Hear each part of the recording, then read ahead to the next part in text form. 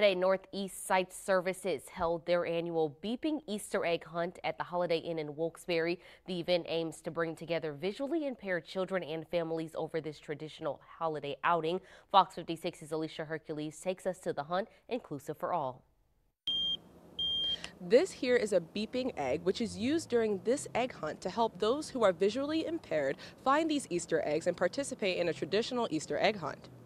Today's event is a staple for children and families of the visually impaired to get the opportunity to participate in an Easter egg hunt, something that is almost impossible to participate in for those who are visually impaired or blind.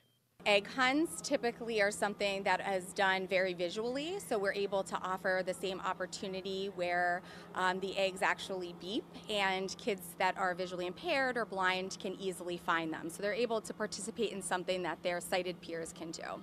Northeast Sight Services offers this event through their Insight Kids Club of NEPA, a club for visually impaired children in the community. Aside from helping visually impaired children get in on the fun, this egg hunt also serves as an opportunity for participants to meet other children and families just like them.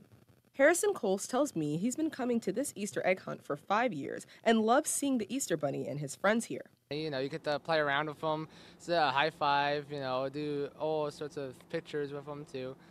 Uh, so I, I'm pretty sure it's just mainly hanging with friends. That's what makes things special. I also spoke with Megan Ruseskas, who is returning for a second time with her two children. She tells me that meeting other families of visually impaired children is a great learning experience. It's so comforting, but it's also nice just to share experiences and what we're doing. We've just met another girl who has albinism, and she was giving me tips. So that was really useful too, of just sharing information. Through these inclusive events, Northeast Sight Services look to continue to bring families together through their experiences. Reporting from Wilkes-Barre in Luzerne County, I'm Alicia Hercules of Fox 56 News, First at 10.